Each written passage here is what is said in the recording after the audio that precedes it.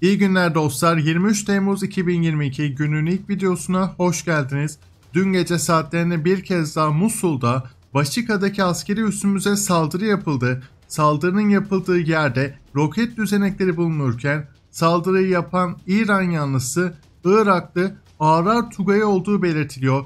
Iraklı Şii gruplar yine Duo'nun Bamani kentinde de Türk Silahlı Kuvvetleri üstüne saldırı gerçekleştirmişti. Bazı görüntüler yayınlanmış durumda. Türk askerlerimiz bu drone'u imha etmişti. Bunu da hatırlatalım. İran destekli terörist gruplarının propagandası da Türkiye'de devam ediyor. Taksim meydanından fotoğraf görmektesiniz. Nerede olmamız gerekiyorsa orada olacağız ifadeleriyle paylaşan fotoğrafta burada bir armayı görmektesiniz. Irak merkezli Katayip Seyit E Şüeda terörist grubuna ait bilindiği gibi son aylarda Türkiye'den en çok ev satın alanların Rusya, Iraklı ve İranlı olduğunu aktarıyoruz. Özellikle Irak ve İranlılar birçok bölgeye yayılmış durumda. Bu şekilde tehdit mesajını görmektesiniz. Yine Türkiye'nin Kuzey Irak'taki üstlerine yapılan roket saldırısının sorumluluğunu bir başka grup daha üstlenmiş durumda. Diğer bölgeye yapılan saldırı ise Arar El Irak üstleniyor. Yaptıkları açıklamada eğer Türkler işgali sürdürmekte ısrarcı olursa operasyonlarımız genişleyecek ve Türk topraklarının derinliklerinde askeri güvenlik tesisleri vurulacak şeklinde boş boş konuşmuşlar. Daha sonrasında ise dostlar İngiliz basın sitesi Middle East Ay'a Iraklı yetkili konuşuyor. Evet doğru Türkiye'nin bize ihtiyacı var ancak bizim Türkiye'ye daha fazla ihtiyacımız var. Ciddi su sorunumuz var. Türkiye ile siyasi ve ekonomik anlaşmaları sürdürmeden hiçbir şey alamayız açıklamasını yapıyor. Türkmeneli Dernekler Federasyonu da Zao'daki saldırı ile ilgili basın açıklaması yayınlarken açıklamada teröristlere tepki gösterilmiş Irak'ın Doğu kentinde 21 Temmuz tarihinde sivillerin hedef alındığı saldırı kınanırken terör saldırısını lanetliyor, ölenlere Allah'tan rahmet, ailelerine başsağlığı diliyoruz mesajı atılmış. Yine Türkiye Cumhuriyeti tarafından bunun yapıldığını iddia edenlere de sert tepki gösterildiğini, bunun Irak'la Türkiye arasındaki dostluğu zedeleyeceği de Irak Türkmenleri tarafından ifade ediliyor. Türk Silahlı Kuvvetlerimiz bunun dışında dostlar Suriye Kamışlı'da PKK'lı teröristlerin bulunduğu aracı imha etti. Suriye İnsan Hakları Gözlem Evi'ne göre Kamışlı ve Malike'yi birbirine bağlayan yolda Türk insansız hava araçlarımız tarafından PKK'nın sözde 3 kadın koruma üyesi kısaca 3 teröristin öldürüldüğü haberi paylaşılıyor. Bazı görüntülerde servis edilmiş daha doğrusu fotoğraflar. Diğer haber 180'den fazla mermiyle Suriye Milli Ordusu'na bağlı grupların Halep, İdlib, Hama ve Laskiye'deki rejim bölgelerinde 25 mevzi bombaladığı belirtiliyor. Dün Rusya'nın bebek ve çocukları katletmesinden sonra Suriye Milli Ordusu her cephede Esad rejimine atış gerçekleştiriyor. Esad rejimi ne yapıyor derseniz Rus medyası RT'ye göre Esad rejimi ve PKK terör örgütü Münbiç'e askeri sevkiyata devam ediyor. Ne var ne yok Münbiç'e yığmış durumdalar. Neredeyse her gün haber aktarıyoruz. Yine bölgeden özellikle Twitter'dan sık sık yayın yapan Abdülsamet Dagul de bölgede cephe hattından son görüntüleri yayınlıyor. Kendisinin videosuna kısaca bakalım ardından devam edelim.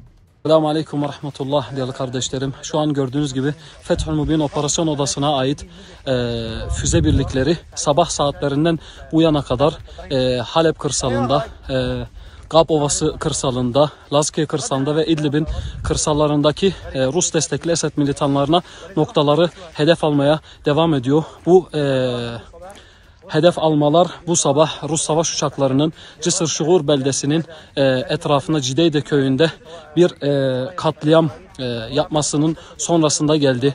5 e, e, çocuk hayatını kaybetti ve 2 e, sivil büyük e, hayatını kaybetti Rus savaş uçaklarının bombardımanının e, sonrasında ve e, dediğim gibi sabah saatlerinden bu yana Fethül Mubin operasyon olası e, Rus destekli Esed militanlarına İdlib'in farklı cebahatlarında noktalarını e, şiddetli bir şekilde hedef almaya devam ediyor. Selamun Aleyküm ve Rahmetullah dear brothers and sisters. We are here right Diğer haber dostlar Cezayir Dışişleri Bakanı Rantana Laman'la resmi ziyarette bulunduğu Bağdat'ta Iraklı mevkidaşı Fuat Hüseyin'le görüşüyor. Bağdat'ta Dışişleri Bakanlığı'nda gerçekleşen görüşmede bölge ve dünyayı tehdit eden teröre karşı ortak mücadele vurgusu yapılırken Irak günümüzde terörle mücadele etmeyen ülke konumunda dolayısıyla kendini kandırmış. Irak Dışişleri Bakanı Hüseyin görüşme sonrasında düzenlenen ortak basın toplantısında iki ülkenin Rusya-Ukrayna savaşı nedeniyle gıda güvenliği krizinin aşılması için birlikte çalışacağını belirtiyor. Diğer haber dostlar Tacikistan ve Türkiye arasında ilişkilerde önemli bir ivmelenme ve hareketlenme sağlandı açıklaması yapılıyor. Türkiye ile Tacikistan arasında güvenlik işbirliği anlaşmasının imzalandığı duyuruldu. Tacikistan İçişleri Bakanı Ramazan Rahimzade konuşuyor. Anlaşmanın her türlü suç önlemede, özellikle terörle mücadele, silah kaçakçılığı, sınırları aşan suçlar, organize suçlar konusunda farklı kurum ve kuruluşların bilgi alışverişi konusunda önemli zemin hazırlayacağı belirtilirken Tacikistan İçişleri Bakanı Rahimzade Türkiye yaptığı ziyarette iki ülke ilişkilerinin gelişmesine yardımcı olduğunu belirtiyor. Türkiye ile Tacikistan arasında şu anda çok iyi ilişkilerin bulunduğunu dile getiren Rahimzade, bunun da iki ülkenin Cumhurbaşkanı'nın dostluğundan kaynaklandığını vurgularken, iki devlet ve millet arasında derin geçmişe dayanan ortak bir medeniyetin ve aynı dinin bulunduğunu, bunun da Türkiye ile Tacikistan arasında daha fazla işbirliği yapılması gerektiğine dikkat çeken Rahimzade açıklamalarına devam ediyor. Bunun dışında dostlar Yunanistan Savunma Bakan Yardımcısı Nikos Ardalias, gayri askeri statüdeki Meis Adası'na, diğer ismiyle Kızılhisar Adası'na provokatif bir ziyaret gerçekleştiriyor. Ardalias şu açıklamayı yapıyor. Hukuki pozisyonlarımız olan inancımız tam, güçlü ittifaklarımız tartışılamaz ve silahlı kuvvetlerimizin yeteneği de tartışılamaz açıklamasını yapıyor.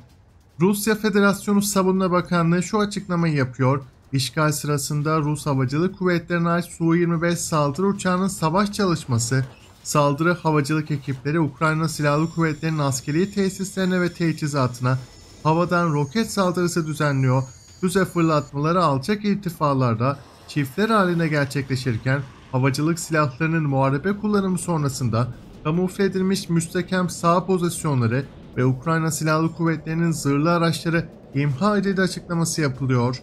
Dün Amerika Birleşik Devletleri Savunma Bakanlığı Ukrayna'da hiçbir HIMARS'ın vurulmadığını belirtirken Rus ordusu yaptığı açıklamada ABD HIMARS sistemlerinin üçte birinin imha edildiği iddia ediliyor.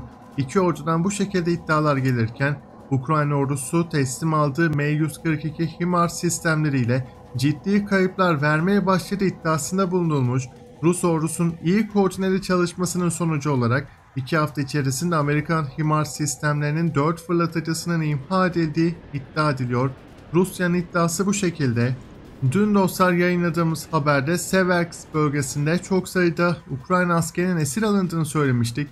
Haritaya bakalım en son dostlar harita üzerinde bilindiği gibi Bamut'a kadar Rus ordusu birçok bölgeyi işgal etmişti. Burada görmektesiniz Seversk bölgesinde esir alınanlar olduğunu söylemiştik. Seversk bölgesinin tam olarak burası olduğunu söyleyelim. Yine Rus ordusu Soledar'a yaklaşmış durumda. Özellikle bu bölgede Bamut'ta bir üniversite Rus ordusunun bombardımanı sonucunda alev almış durumda. Buradan da dostlar haberler paylaşılıyor. Yine bunun dışında sadece Seversk değil dostlar. Slovyansk'a da saldırı gerçekleşiyor. Slovyansk'ta bilindiği gibi bir havalimanı var. Ruslar burayı işgal etmek isterken son durum haritasının bu şekilde olduğunu söyleyelim. Görüldüğü gibi Rusya tarafından yapılan açıklamada sadece Donbas ve Luhansk değil, Ukrayna'nın orta kesimine kadar işgal edileceği de duyurulmuştu. Rus işgalcilerden bu şekilde bir açıklama gelmiş durumda.